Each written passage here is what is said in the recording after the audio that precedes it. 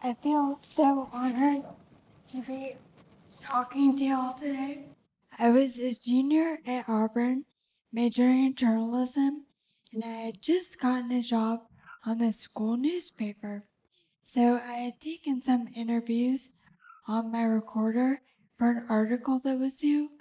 And then one weekend, I decided to go home to visit a friend of mine. So I went home, spent the weekend with her, had lunch with my family, and then started to head back towards campus.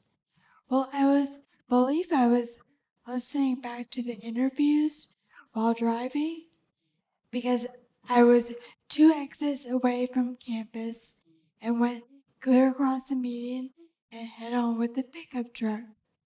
The reason why I think I was listening to them back is because um, the entire accident was recorded, like everything. This country song I was listening to, to the gentleman saying, Help us on the way, ma'am, to the sirens in the recording and the re- ambulance. The only part that you don't hear, which is kind of strange, is the sound of the crash itself. So I must have clenched the record button upon impact with the truck. As a result, um, I sustained traumatic brain injury.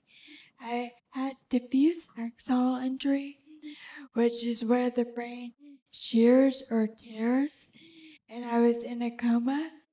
Um, I did the damage to the left portion of my brain, and my entire right side was affected.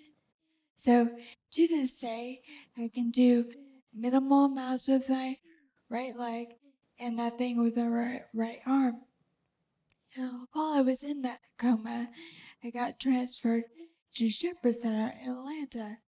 It's a brain and spinal cord injury hospital, and I was there for about a month. And doctors came to my family and said, You know, we tried everything we can. She's not coming out of her coma or making any progress. We're going to send her home with y'all. My family was shocked, and they doctors reassured them that uh, sometimes when a patient goes home, certain scents and sounds can bring them right out. And that's exactly what happened to me. So one day I was just lying around my bed as usual, and my sister came in and started playing Bible songs, and I started mouthing along to the words. Then another day, my father came in my room to stretch my right arm. Well, the pain was so intense, and I had no way of verbalizing it. So he started stretching my arm up like this, and I started to lean down towards his arm and just bit the heck out of him. So he said, Look, Molly, next time just tell me to stop. so the next time he came in my room, she stretched my arm and mouthed the word stop. And Shepherd Center sent me home with a webcam so they can watch our progress or my progress from their hospital. And once I was done mouthing the words, I do a couple more criteria like pet my dog, brush my hair and teeth, raise one finger for yes, two for no, before I could go back there for more intense therapy. One of those intense therapies was speech therapy. It used to be where no one could understand me. And people are all so kind. They try their absolute hardest. They smile and nod and try to respond to what they thought I said. And at the time, it made no sense whatsoever. Um, another part is so I had to go through a bunch of articulation and pronunciation exercises to get my speech sounding kind of normal. Um, another part of speech therapy was I had to relearn how to swallow. I used to have to eat parade food or ground up food like baby food. And being 21 at the time, that was not okay. I had to drink my fajitas out of a cup. Another intense therapy was physical. I went from the bed to a wheelchair to a walker to a cane. And I keep thinking I've gotten rid of this cane because I walk a couple steps without it and start devising ways on how to burn it. but I've never come up with a good way yet. So the next intense therapy was occupational. That's where they work on your arms. Uh, they used to try all these exercises on my right arm to get it to reawaken, um, including this one where they put these little shocker devices on it. But it never did wake up, so it was super upsetting. But on a good note, I'll talk about AU. Alright, so I had to finish what I started. So my electives I could take anywhere, so I just took them online. But my core classes I had to take at Auburn. That was really hard considering I didn't drive. Um, but my professors only made me go once a week and then make up for the other class I was missing right afterwards. And then my family all took turns driving me down there. But it was an all day event. It took two and a half hours to get down there, and then I waited for an hour and a half of class, and then two and a half hours back. So it took me a good extra three years, um, but I finally walked across the stage to receive my diploma.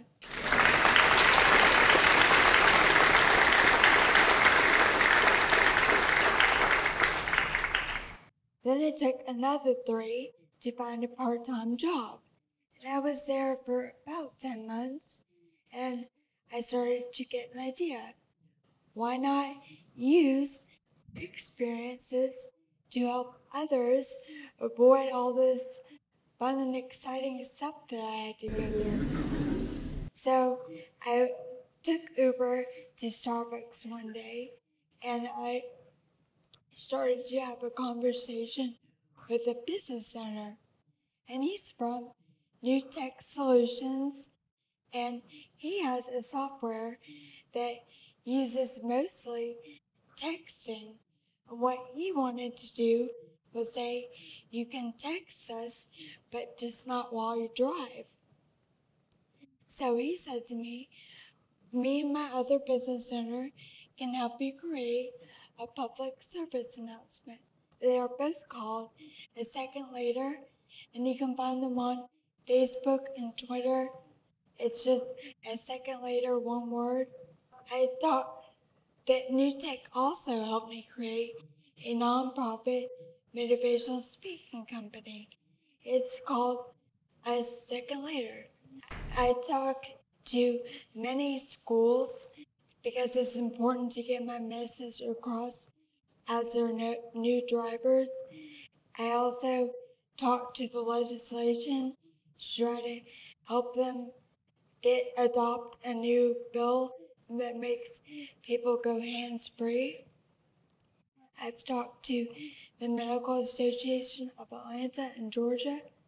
My PSA runs in several cities in order to promote the message against distracted driving. If I can just save one life, then all this hard work will be all worth it. There are many ways people can become distracted.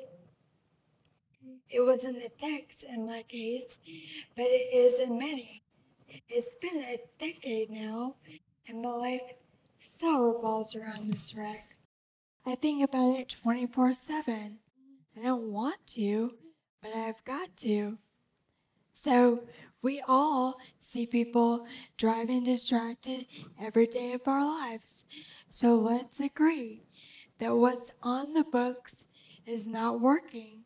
I mean, how many people are we going to have to see die or become permanently disabled before the law is changed? So I could tell you about the hours upon hours I spend waiting on transportation, or I could tell you about the fact that I was dominant on my right side and had to relearn how to do everything single handedly on my left. Or I could tell you that I used to have such a passion for running. It gave me so much joy and freedom. And unless technology keeps going at the rate that it has been going, I will never run again. I think that the penalties for distracted driving should be made so severe that people will never forget the day they drove distracted. Uh, what are y'all gonna do? Are y'all gonna focus more on the road? Are you gonna put your all your electronic devices out of reach? Are y'all gonna put both hands on the wheel and um, buckle up. It's a choice. Please make the correct one. And in 2015, 3,477 people died due to distracted driving. That was like the size of my high school. Thankfully, I was not one of the ones who died, but I was one of the 390,000 that were injured. It's not worth it. Um, I don't know how to be more straightforward than that. Um, my hope is that you all drive as safely as possible and live happy and successful lives.